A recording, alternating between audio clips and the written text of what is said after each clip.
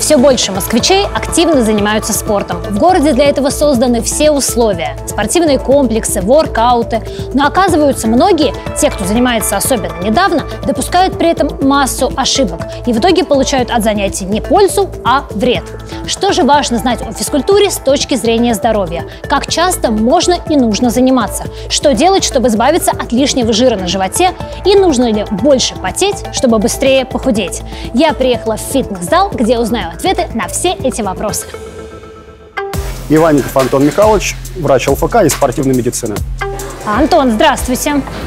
Мы сегодня с вами разбираемся в популярных утверждениях о занятиях спортом. И я бы хотела начать с самого популярного, мне кажется, утверждения о том, что если ты начал заниматься, то надо заниматься каждый день. Так делают многие, по крайней мере, новички, потому что считают, что чем больше я буду заниматься, тем я буду спортивнее, худее и так далее. Вот правда это или миф? Стоит так делать или нет? Действительно, такой миф достаточно распространен, но на самом деле э, есть такое понятие, как перетренированность. То есть э, человеку нужно восстанавливаться. Неважно, какая это нагрузка, но нужен определенный период, чтобы мышцы восстановились, сердечно-сосудистая нервная система пришли в норму после э, стресса, которым является физическая нагрузка. Э, желательно силовые нагрузки давать э, не более двух-трех раз в неделю для не самого подготовленного человека, иначе есть риски перегрузиться. Самое малое, что мы можем получить, это отсутствие прогресса.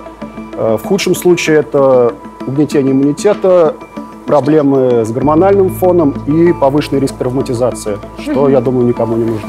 А если я, например, буду 2-3 раза в неделю, будут силовые нагрузки, а в другие дни, например, я буду вот ходить по дорожке, бегать или йогой заниматься, так можно а, или все равно? В принципе, не силовые разминочные упражнения, они допустимы каждый день. Заниматься каждый день физическими нагрузками не обязательно. Это, кстати, хорошая новость для многих, я думаю. Поэтому 2-3 раза в неделю силовые нагрузки, а в остальные дни, пожалуйста, можете, не знаю, просто разминку какую-то делать, и уже неплохо. Хорошо, но вот многие люди считают, что заниматься в зале эффективнее, чем заниматься самостоятельно там дома или на улице. Вот что вы об этом скажете? На самом деле следует э, понимать вообще, зачем мы это делаем. То есть если у человека цель похудеть, то, в принципе, заниматься спортом, скажу шокирующие вещи, не обязательно. Нужно соблюдать э, баланс между потребляемыми нутриентами и тратой энергии. Если Просто меньше баланс... есть, грубо говоря. И менять э, образ жизни. То есть без этого результата не получится. Ну, какая-то физическая активность, может, То есть нужна? достаточно там, часовой э, прогулки в парке, но ежедневно. И ага. при этом контролировать э, поступление калорий извне. Тогда, Хорошо. да, похудения не будет. Если у человека цель э, укрепиться, стать сильнее, тогда, да, нужно будет заниматься регулярнее mm-hmm. и желательно перед началом нагрузок пройти небольшой чекап mm-hmm. и для начала заниматься с тренером, дабы выполнять упражнения безопасно и с правильной техникой. Вот я могу сказать, что для меня лучше всего заниматься в зале с тренером, потому что иначе я просто вообще не буду заниматься, потому что есть такое прекрасное чувство, как лень, а тренер, он хоть как-то мотивирует, но и финансовая составляющая тоже имеет значение. Да, элемент мотивации – это всегда очень важно. В общем, мы можем сделать вывод, что заниматься физическими нагрузками нужно обязательно. Еще важный момент – выполнять все эти а, упражнения правильно. А в этом, конечно, вам поможет, в принципе, наверное, только тренер.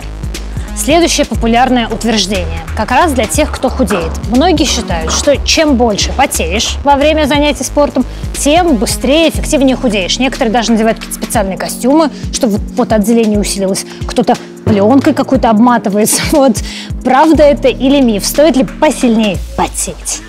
Ну, на самом деле, достаточно забавный миф. К счастью, он уже практически изжил свое время. А, нет, локальное жиросжигание – это миф, так это не работает. Жиросжигание – это, в принципе, систематический процесс, системный. И невозможно обмотать себя пленкой и нарастить кубики на животе. Здесь дело дефиците калорий и изменении образа жизни. Я поняла. Друзья, не обязательно очень много потеть, чтобы похудеть. Здесь важно другие правила соблюдать, о которых мы уже говорили и сейчас еще поговорим. Мне кажется, самая большая вообще проблема тех людей, которые активно начинают заниматься спортом, ну, многие люди хотят избавиться от лишнего жира на животе. И они уверены, что если каждый день усиленно качать пресс, то жир на животе будет сжигаться, соответственно, живот будет уменьшаться. Вот так это или нет? К большому сожалению этих людей, это такая же история, как и с пленками на животе. К сожалению, локального же разжигания, повторюсь, не бывает. Да, мы приведем в тонус мышц брюшного пресса. Брюшная стенка будет в лучшем тонусе, но кубики мы не увидим или увидим, если к этому есть предрасположенность. То есть это чаще всего история с генами. В общем, друзья, если вы хотите избавиться от жира на животе, нужно не только качать пресс, но и меньше есть и делать разные другие упражнения. Тогда эффект будет налицо. Главное, вот как-то свой образ жизни поменять. Хорошо, Антон, спасибо вам большое. Сегодня на тренировку пойдете или уже завтра? Или послезавтра? Сегодня в планах, да, пойти. Сегодня в планах пойти. Хорошо, я пойду послезавтра. Вот, тогда вам хороших тренировок э, и поменьше пациентов с э, тяжелыми проблемами спортивными. Спасибо, что позвали. Продуктивных тренировок вам и хороших сюжетов. Спасибо большое. Любите себя и свой город, москвичи, и занимайтесь спортом. Пока-пока!